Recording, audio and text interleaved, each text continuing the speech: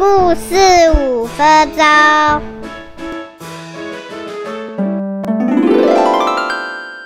很久很久以前，有一个可爱又乖巧的小女孩，她非常喜欢戴着外婆送给她的一顶红色帽子，于是大家都叫她小红帽。有一天，妈妈跟小红帽说：“宝贝，外婆生病了，现在身体不舒服。这里有一些好吃的点心，你帮我送去给外婆。记得要走大马路，不要乱跑，还要注意安全哦。趁现在天还没有黑，赶快去吧。”小红帽跟妈妈挥手说再见，就出发了。他刚一走进森林，就遇到一只大灰狼。大灰狼装出和善亲切的笑容，说：“嘿，可爱的小姑娘，你要去哪里呀？”小红帽不知道大野狼是喜欢吃人的大坏蛋，因此笑眯眯的说：“我叫小红帽，我要去森林里的外婆家。外婆生病了，我要带好吃的东西去给她。”哦，真是乖孩子，你看。这森林里的花儿多好看呐！你为什么不摘一些给外婆呢？对哦，谢谢你的提醒。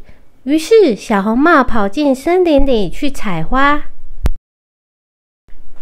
趁着小红帽去摘花的时候，大灰狼跑到了外婆家，敲了敲门：“是谁呀？”“外婆，外婆，我是小红帽。”我带好吃的来看你喽，小红帽，你的声音怎么怪怪的呢？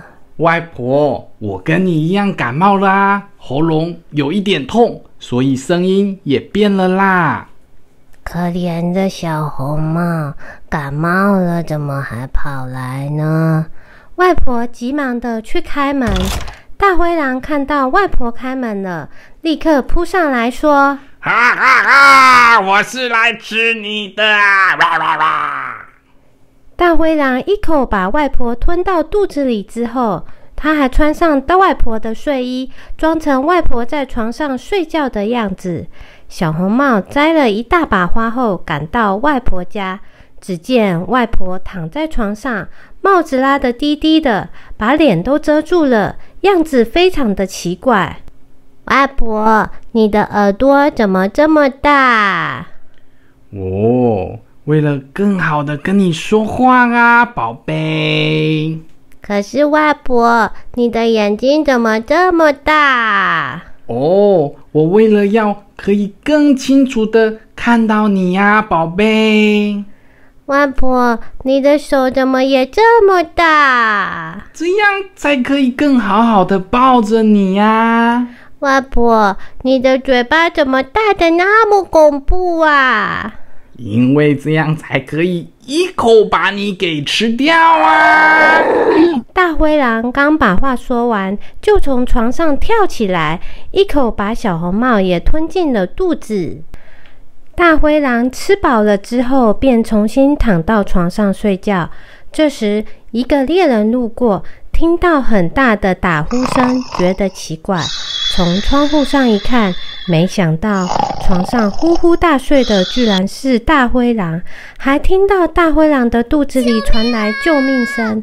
于是猎人拿起剪刀，剪开大灰狼的肚子，把外婆和小红帽救出来之后，猎人搬来了几块大石头，塞进狼的肚子里，外婆也帮忙把狼的肚子缝起来。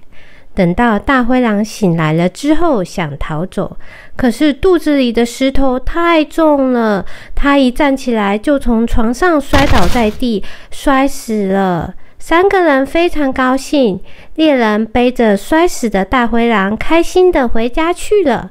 外婆也吃了小红帽带来的点心，身体好多了，对小红帽说：“小红帽，赶快回家。”不要在森林里乱走，也不要随便和陌生人聊天。我一定会乖乖听话，再也不乱跑了。拜拜，外婆。小红帽向外婆挥挥手，说再见。想听更多故事吗？记得订阅我们并打开小铃铛哦。